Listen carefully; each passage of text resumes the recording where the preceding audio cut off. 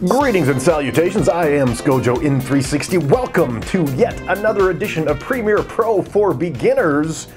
Although this one is almost going to take you up a notch out of beginners. By the time you get done with this, I'm going to have taught you something that will bring your videos to a whole nother level. So, let's get right to it. The question for the moment is why should I shoot in 4K, especially when most of your deliverables are going to be 1080. Facebook, YouTube, even the stuff that I send to my clients are generally in 1080, which is considered HD. 4K goes well beyond that. So why should you shoot in 4K? First, let's address the simple question why you shouldn't shoot in 4K. 4K is a substantially larger file size, so if you're out in the field and you're shooting and you don't have all that much drive space, that's when you're going to want to shoot with 1080. But other than that, you should always default to 4K. Why? Let's break it down. 4K has significantly better resolution and it gives you some options that you may not have thought about. So let's go to Premiere Pro and I can show you how this works. First of all, we're gonna get you started with building a sequence. We're gonna start the sequence in 1080, but everything you're seeing is gonna be shot in 4K. So that's gonna bring up a little bit of a problem. Let's take a look. All right, so I'm gonna go in, I'm gonna start new sequence. Now I have this defaulted to a 1080 30 frames per second, which is generally what a lot of people are using, especially for television these days. I'm gonna name this, oh, Y4K. Enter. Okay, so now we have a 1080 sequence, but I've got some footage that I shot earlier in 4K where I'm talking to the camera so that I can give you some examples. So I'm just gonna go ahead and drop that into my timeline, but remember, this is a 4K shot footage and I'm dropping it into a 1080 sequence. So what happens? Let's find out. Oh, look at that. Right now what has happened is that Premiere Pro has detected that it's 4K footage, but I've got it set for 1080. Well, I still want it to be in 1080, but there's another problem that will come up if I hit keep existing settings. Look at this.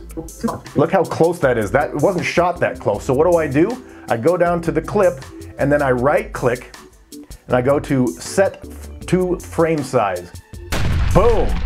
Hey, now we're off and running. We've got the 4K now downsized to 1080, but now you've got all that resolution to play with. And what are the cool things you can do with it? Well, let's take a look at the first one, which is being able to zoom in. Now that you have all this extra resolution, you can zoom in without degrading your image, and it can add for some very interesting effects. Take a look.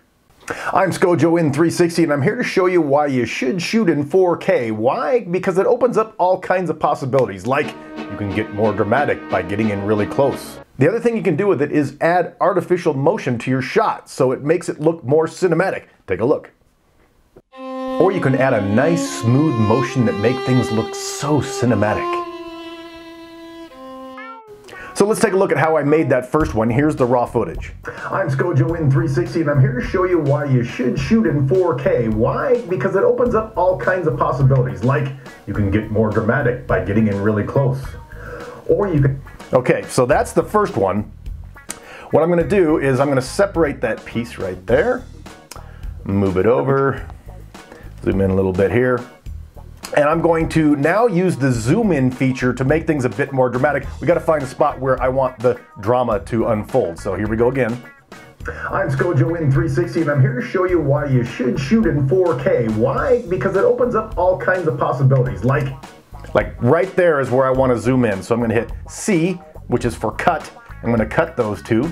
Then I'm going to highlight the video clip, go up to effects controls, and now you see you've got position and scale in the motion section. What I'm gonna do is zoom in, because it's right now at 50% because it was a 4K scaled down to 1080, and zoom in. Whoa, dude. let's see, let's see how that looks. Ready? Here we go. I'm Scojo in 360 and I'm here to show you why you should shoot in 4K. Why? Because it opens up all kinds of possibilities, like you can get more dramatic by getting in really close. Hello? You just upgraded your video content by a lot just by shooting in 4K. It makes it look like you've got several different cameras. So there's reason number one to use it. Now let's go on to the whole dramatic movement thing. Here's the clip where I added the basically the dolly shot or the motion to my shot. Or you can add a nice smooth motion that make things look so cinematic. How did I do that? A little bit more intricate, but still not that hard. So let's go ahead and go into the shot where right where it begins. We're gonna do the same thing we did before. Click on the video, go up to position and scale, and I'm gonna zoom in just a little bit here. Okay, now I have all that frame that you can't see to play with, so now I can slide things over like this, like that. I think I'll go ahead and slide it over to about here. Now you wanna set up a keyframe by hitting basically position and scale, and then roll to the end of the shot where you want the motion to end. Or you can add a nice smooth motion that make things look so cinematic. Okay, that's where we are now. Let's move that over. Let's add some motion so it looks like, eh, let's just go like there. All right, now let's take another look. Or you can add a nice smooth motion that make things look so cinematic. Hello, two things that are going to dramatically increase the potency of your videos just by shooting in 4K.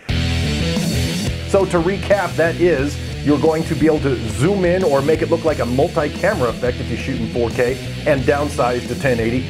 Also, you can add artificial motion that makes things look a lot more cinematic. So now, boom! You are off to the races. You're welcome. Thank you so much for tuning in to another edition of Adobe Premiere Pro for beginners. God, it's just, it's getting to be so much fun because I'm seeing my numbers increase. I'm getting a lot of great comments. If you have suggestions or questions, please leave them in the comment section below. I do my best to answer all of them. Also, don't forget to hit the subscribe button. And if you're really super cool and you want to be my best friend, hit that little bell on the side. Ah and you will get an update every time I post new content. Thank you so much to everybody for being here. Be kind to one another, love one another, and drink lots of cold beer only if you're over 21. I am out of here.